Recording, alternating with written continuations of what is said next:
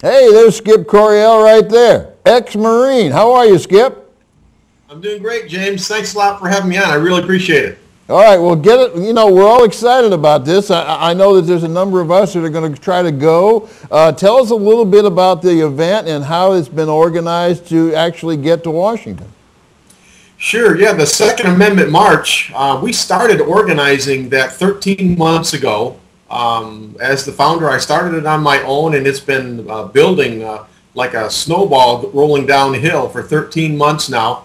Um, it's, uh, it's organized into three phases. Uh, first phase is Second Amendment town hall meetings, which we've been having uh, for the last nine months or so all across the country. and then the second phase are state capitol rallies, which started last week in Little Rock, Arkansas. And uh, we're, those are happening all over the country between now and April 19th. Uh, we have 40 state coordinators right now uh, that are uh, setting up uh, marches like that. And then everything culminates on April 19th at the Washington uh, National Monument Grounds um, right there in Washington, D.C. Okay, well let me ask you this, Skip. So, so are you using, let's say, the Tea Party as a model for what you're doing? Well, no, no not really, because uh, the Tea Party didn't even exist when, when we started. Uh, it was, wasn't even a blip on the radar screen. Uh, there is no model because I don't know that this has ever been done before. No. As maybe they're using us uh, as hey, their there model. you go. I don't know. But, you know, we we are kind of like a uh, you know a Tea Party for gun owners. So could be. Who knows? Yeah, right. Now, no, no, no. Obviously, I, I like the idea, and I was I didn't know up until right now that you had been organizing things in different cities. So I think many of us uh, that were unaware of that are now aware of that. Uh, and this and the city part of it, or, or the areas that you're organizing these in, are they published? I mean, how does it all take place? Sure. Yeah. If you go to our website, secondamendmentmarch.com, uh, that's all letters, all one word, secondamendmentmarch.com. There's a bunch of tabs up near the top. Uh, you click on a news, and you can go down to state news, and you will see all of the state rallies that are being organized uh, right now, as well as a whole bunch of uh, other news about the national event, uh, the speakers that we have, uh, you know, all kinds of things like that. Okay, I got two questions for you. Number one, uh, I understand you've probably organized uh, how to, how the folks are actually going to get to the Washington, yeah, D.C., um, right? Basically, what's happening, James, is um, people are forming buses all across the country. Uh, obviously, some will some will drive, uh, some will fly, um, but some are organizing buses, and some are also organizing uh, train train rides as well. And there's a place on our website where you can go if if you're organizing a bus, you can register that with us, and then other people can sign up uh, for your bus so that it gets filled up. Okay, good. Then, uh, and, and, hotel arrangements, are they made by the individuals or is your organization uh, sort of filtering that as well? Um, hotel arrangements are made by the individual, uh, but we have um, signed an agreement with uh, a, a, big hotel uh, in Arlington, Virginia. Uh, it's very gun friendly, you know, only a couple of miles from the event uh, and with a good rate. So you can go on our website um, under travel and you can uh, sign up and reserve one of those rooms if you like. Okay, all right, good. All right, so, so let, let's get to the part where what's going to take place in Washington when I arrive. What's going to, tell me about the event. Sure. Uh, we have got a whole bunch of stuff uh, planned. It, it, it, starts at 10 a.m. and it runs till 4 p.m. Um, and we've got uh, a long list of, of speakers uh, for you. Um, you know Suzanna Hupp, uh, she will be there speaking.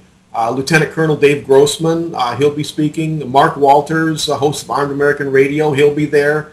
Um, a, a new fellow named Bill Hunt, he's running for Orange County Sheriff, very pro-Second Amendment law enforcement fella. he will be speaking. Um, Nicole Stapp Oop. I think we lost Skip. Uh, I think his screen freezed up on us, and uh, I think he's coming to us from the Midwest there where we might have lost the transmission on that. But and we'll, we'll try to get him back. If we don't get him back, um, then we may have to bring him on again. But I, I think this is uh, one of those situations where if, if you're available, I, I think we need to go to this in Washington, and, and we here at the uh, studio are trying to organize something as well so that we actually participate in this. This is the opportunity for you and, and me to, to be seen and heard and, uh, and, and have an opportunity to interact with people up the chain there. Uh, I'm absolutely certain the NRA is going to be there. I know, for instance, that uh, Skip worked for Ted Nugent at one time. Is he back? I'm here. Yeah. Okay. I, I can just barely hear you, though. I'm sorry. I, I must have breathed too hard on my computer. I apologize for that. I just got through telling people that don't didn't you at one time work for Ted Nugent? Yes, yes, I did. I was um, the state director for Michigan for Ted Nugent United Sportsmen. That started out as uh, Ted Nugent World Bow Hunters. Uh, yeah, I, I, was working uh, with him for about uh, 10 years. Okay, and I'm sure you probably contacted him, and if he doesn't have a previous date, uh, we would hope that he, he might be there as well. Well, we are still hoping for that. Um, there is a big demand for Ted Nugent, not just at this March, but across the country, and that's about the time the touring schedule starts. So we'll, we'll keep trying to work that, and we would love to have him uh, there. Okay. Well, let me ask you this too, because I don't want to make this sound as though this is the end of what you're doing. So after Washington, D.C., what do you plan on doing? Well, if you ask my wife, uh, I plan on going to Disneyland, but uh, I've been uh, she's been sticking with me through thick and thin through the last 13 months. Um, originally, I had planned it as a, a one event deal, um, but we are getting a lot of encouragement to do this again next year. Um, so we will probably do it again next year. We'll wait and see how this event goes. I expect it to be a big success. If that's the case, then that shows that there's a demand for it, and we will we'll, we'll keep doing it. Well, I would think, and then this is just based upon uh, my earlier conversations with the NRA and Rachel Parsons, where there are so many bills right now in state legislatures about Second Amendment, about gun rights, that I would hope, okay, I would hope that you would stay with this and because there's a lot of things going on in every state, wouldn't it be nice, and I'm just going to propose this, wouldn't it be nice if we were able to have a rally uh, at some of these state legislature buildings, um, uh, showing support for uh, the gun rights bills that are taking place and Second Amendment in general. I'm sure that the NRA would probably get on board with that idea. I don't want to speak for the NRA, but I'm sure they would. Uh, you know, I think you've got your hand on, on, on a, a real live wire here, uh, Skip, and I, and I hope you don't spend all your time at Disneyland. no, I won't. I'll, I'll, probably go fishing and, and then come back and get, get back to work.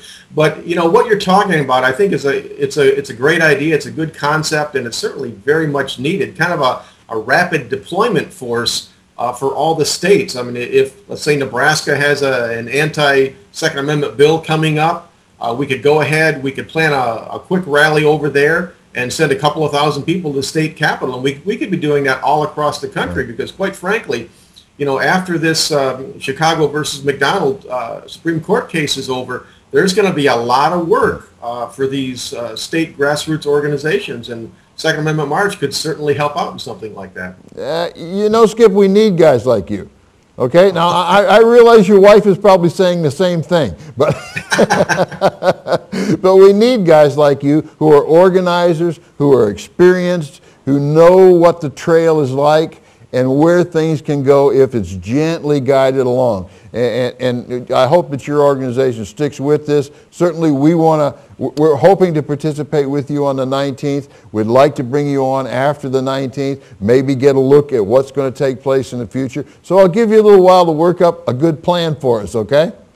All right, that sounds great. And uh, you have access to us anytime you want, James. Ah, thank you very much, Skip. Hey, I'll see you in Washington.